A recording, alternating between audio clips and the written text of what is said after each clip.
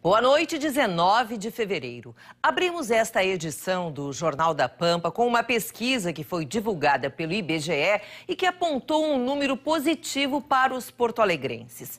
No último trimestre de 2019, 7,1% dos cidadãos estavam sem ocupação. Essa é a segunda menor taxa de desemprego entre as capitais brasileiras.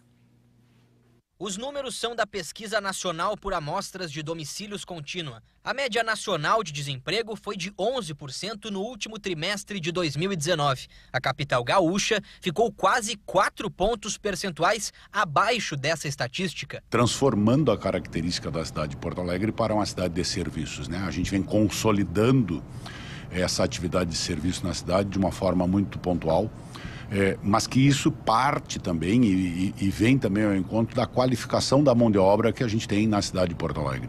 Em 2019, as vagas no atendimento hospitalar foram as que mais geraram empregos na capital gaúcha.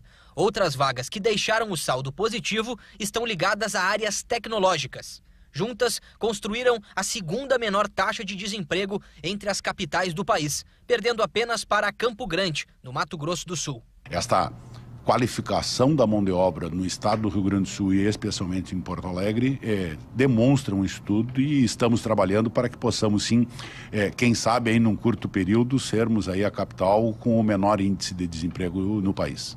Mesmo com os números positivos, ainda tem muita gente tentando sair da desagradável situação de desemprego em Porto Alegre.